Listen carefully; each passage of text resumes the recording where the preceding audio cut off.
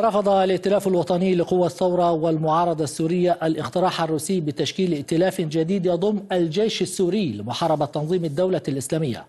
وقبل لقائه مع وزير الخارجية الروسي سيرجي لافروف في موسكو جدد رئيس الائتلاف خالد خوجة دعوته لرحيل الرئيس بشار الأسد باعتباره أساس المشكلة على حد تصريحاته.